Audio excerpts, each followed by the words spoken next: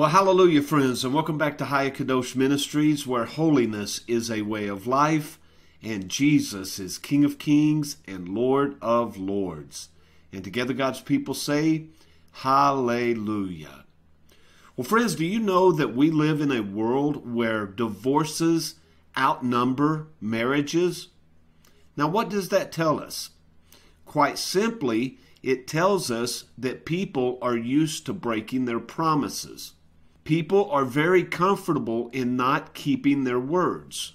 Now, when we apply this to our journey with Jesus and to Holy Scripture, we know that there are consequences for our actions.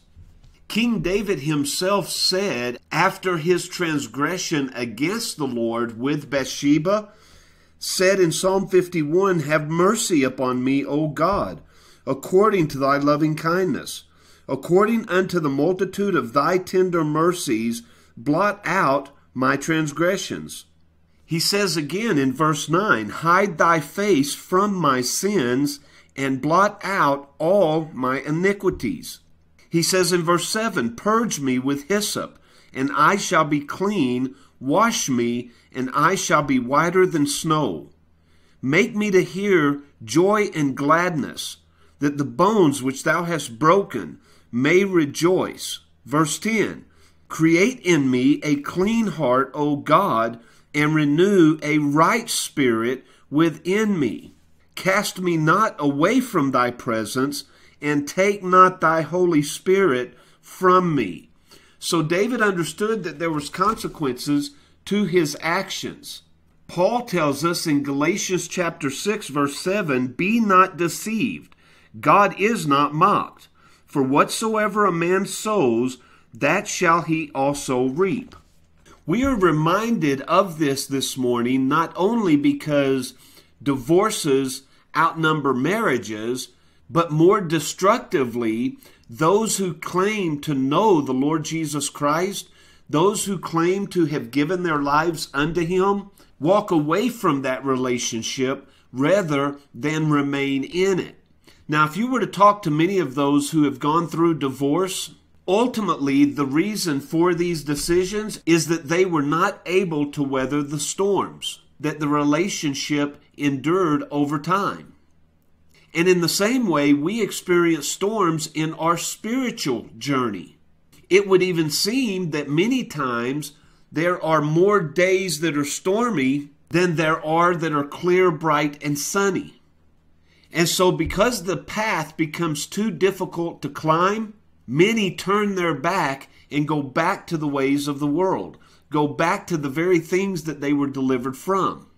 And yet, as we realize our mistake, like David, we cry out unto the Lord to wash us, to renew us, and to certainly take not thy spirit from us. And the baggage that we now carry, the weight of the burden that we now carry, from knowing that we have failed the Lord seems to slow our progress in our journey.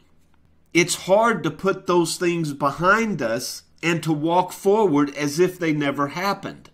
Micah tells us in chapter 7, verse 9, I will bear the indignation of the Lord because I have sinned against him and I will bear this indignation until he plead my cause and execute judgment for me. He will bring me forth to the light, and I shall behold his righteousness. And so, what Micah seems to be saying here is we have to earn the trust of the Lord. The trust that he once placed in us was broken because of our indiscretion. And so we have to wait upon the Lord and we have to remain faithful until He takes the consequence of our actions off of our shoulders, and now we begin to walk in the blessing that we once knew. I share that with you this morning because, as I mentioned earlier, it seems more people have abandoned the Lord than have remained faithful. If you seek opportunity in sharing your testimony with others and what the Lord has done for you and what He can do for them, this is the story that you will most often hear. And so, what we must remind ourselves and others of is this promise in Micah chapter 7. I will bear the indignation of the Lord because I've sinned against him. But I'll only do this until he plead my cause and execute judgment for me. Then he will bring me forth to the light, and I shall behold his righteousness. Friends, I don't know what your past looks like. I don't know what burdens you carry. But the message of the Lord to you this morning is to hold on. Remain faithful. Don't give up. Because as the old saying goes, every cloud has a silver lining. At the end of every dark tunnel, there is light.